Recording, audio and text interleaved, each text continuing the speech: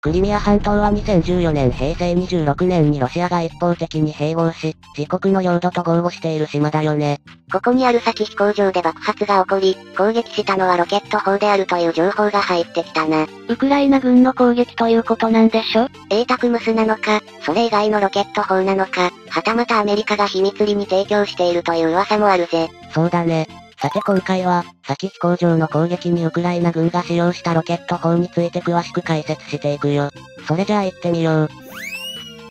2022年8月9日、クリミア半島西岸のボフェドロフカにあるロシア海軍の先航空隊基地で、爆発が起こり、ミグ25戦闘機など多くの航空機が破壊されたね。この爆発について、自分たちのミサイル攻撃によるものだったとウクライナ軍が公式に発表したみたい。約1ヶ月後の9月7日、ウクライナ軍は軍事作戦を遂行するための見通し2023年ウクライナの見解、と称する声明を、ザルジニー総司令官とザブロツキー中将の連名で発表したんだ。この声明の内容は現状のままのロシア軍との戦力差なら、この戦争は長期化するといった見通しを示したものなんだけど、それに関して先海軍航空隊基地での爆発は、ウクライナ軍によるロケット砲攻撃だったと言及したってわけ。先海軍航空隊基地だけど、8月9日当時、ウクライナの支配地域からは 200km 以上離れた場所にあるんだ。今までにアメリカを含む北大西洋条約機構 NATO 加盟諸国から、ウクライナへ供与されている M31 などの長射程ロケット砲弾では届かない位置にあるな。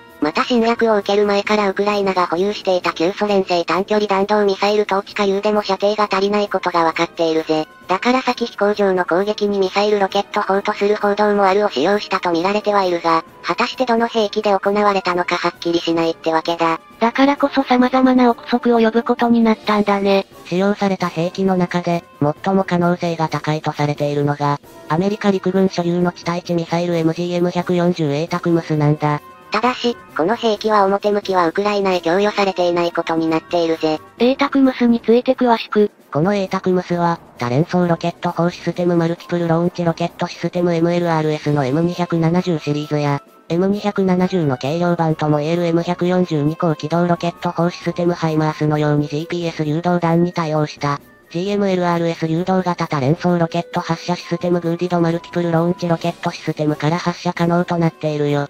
227mm ロケット弾6連装ランチャーに1発だけ装填されるミサイルで、発射後マッハ3のスピードで飛翔、GPS 誘導によって 300km 先の目標に正確に命中するという優れものなんだ。エータクムスの最新ブロックでは、弾頭に無動力滑空型誘導式小爆弾 BAT が6発搭載されていて、ターゲットの上空で団体から切り離されて主翼を展開し、滑空しながら音響センサーと赤外線センサーでターゲットを捜索して攻撃すると言われているよ。先航空隊基地の被害状況の画像を見る限りでは、攻撃を受けた地面に大きなクレーターが見当たらないことから、使用された可能性が高いと推測されていたな。さらに単弾頭の A タクムスの M57 弾頭に近接新管を設置し、空中で炸裂させて広い範囲に制圧効果を生む新しいミサイル、M57E1MOD もあるから、それらが使用されたとすれば、先航空隊基地の被害状況とピタリ合致するようだぜ。とはいうものの、アメリカはロシアを必要以上に刺激することを危惧して、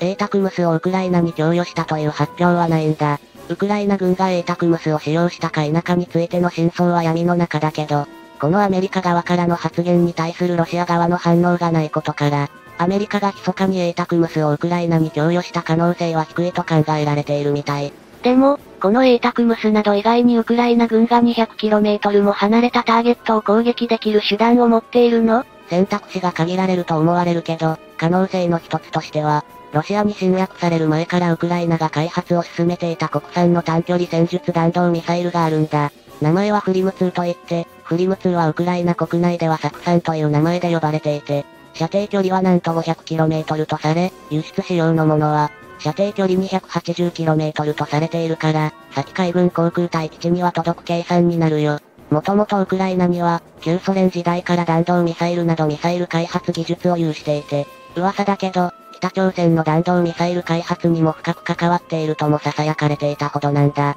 ちょっと意外な感じがするな小麦の生産など世界の国葬と呼ばれるウクライナには農業国のイメージが強いと思っていたし。農業生産高を誇るウクライナではミサイル開発も進めていたってことだね。しかし、2019年に開発予算が凍結され、開発が遅延してしまい、そのせいでロシア軍の侵略開始までに発射試験すら間に合わなかったんだ。仮に完成していたとしても、いきなり実戦に使用するとは考えにくいと思われるぜ。同時に開発が進められていたとみられる射程距離 300km とされる、巡航ミサイルコールシウン2が開発に成功したと言われているが、これも信憑性は低いと考えられるな。ウクライナが所有している射程 200km 以上のミサイルといったら、国会でロシア海軍国会艦隊機関のスラバ級ミサイル巡洋艦モスクワを沈めて、名を挙げた対艦巡航ミサイル R360 ネプチューンウクライナ語でネププーンがあるんだ。このネプチューンはウクライナが、旧ソ連製の空対艦ミサイル KH35 を改良し、射程を 300km まで伸ばした上に電子機器を更新し、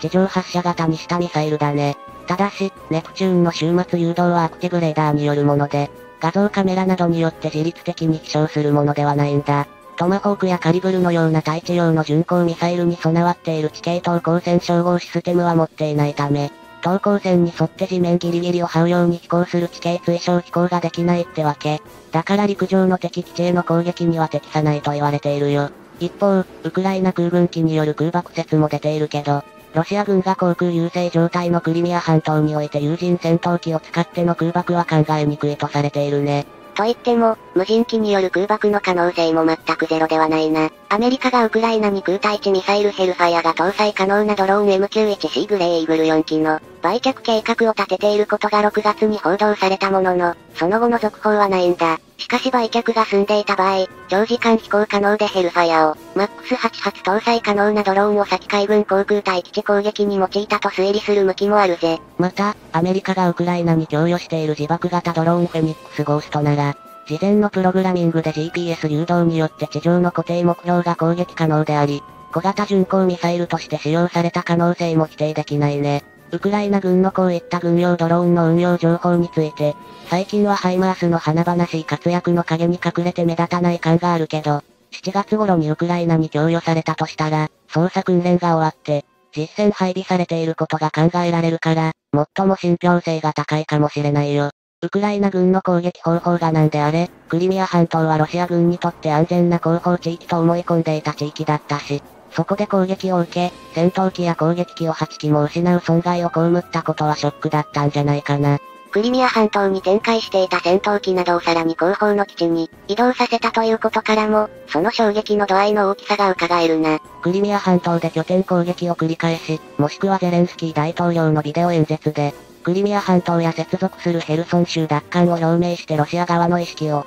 南部に集中させていたウクライナ軍だけど、ここ数日は東部ドンバス地方のドネツク州や、北のハルキウ州で電撃的とも言える犯行に転じたニュースが伝えられているよ。ゼレンスキー大統領は、今までロシア軍に押され続けていた東部ドネツク州の占領されていた集落を解放し、スラビャンスク方面では大きく前進したと表明していて、また東北部ハルキウ州では、バラクレアからさらに東のロシア国境に近いクピャンスク付近まで前進したという報道もあるよね。西側の軍事専門家の中には実はヘルソン州やクリミア半島での軍事作戦は陽動作戦。真の狙いは東部戦線だった可能性があるという意見もあるようだぜ。いずれにしても、開戦から半年以上経過した現在、戦闘における主導権がウクライナ軍に渡ったと見受けられ、今後の焦点になるのは、ウクライナ軍が冬の訪れまでにロシア軍を国外に押し戻せるかどうかということだろうね。それじゃあ今回はこの辺で。よかったら、チャンネル登録してね。